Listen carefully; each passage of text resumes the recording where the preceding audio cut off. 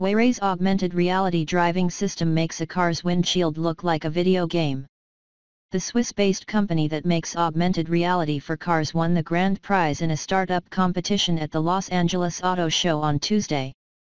Wayray makes a small device called Navion, which projects a virtual dashboard onto a driver's windshield.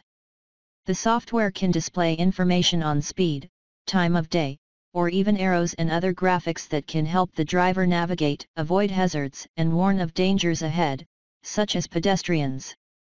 Wayray says that by displaying information directly on the windshield, the system allows drivers to stay better focused on the road. The display might appear similar to what a player would see on a screen in many video games. But the system also notifies the driver of potential points of interest along a route such as restaurants or other businesses. On Tuesday, the startup took the top honor in the 2017 Top 10 Automotive Startups competition on at the Los Angeles Auto Show's Automobility LA trade show. Wayray beat nine other contestants drawn from a pool of 300 applications.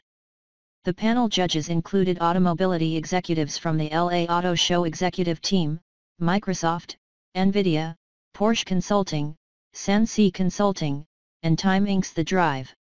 The company edged out the other two finalists for the prize, Ohio-based Ghostwave, which makes radar for advanced driver assistance systems, and Israel-based Innoviz Technologies, which makes LiDAR, a technology thought to be crucial to self-driving cars that uses lasers to create images of environments and objects.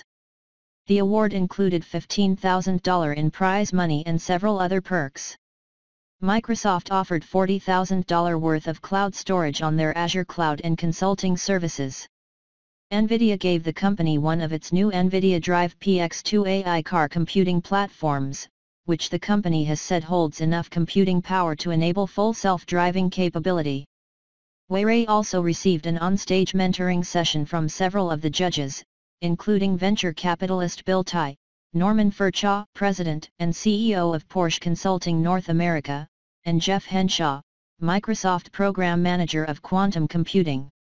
Wayray will also receive consulting services from Elektrobit and access to the company's EB robinos network, a software network for automated driving. Porsche Consulting will also offer Wayray consulting services. Wayray secured an $18 million investment from Alibaba in March. In early 2017, the company entered into a strategic partnership with audio and connected car equipment maker, and Samsung subsidiary, Harman.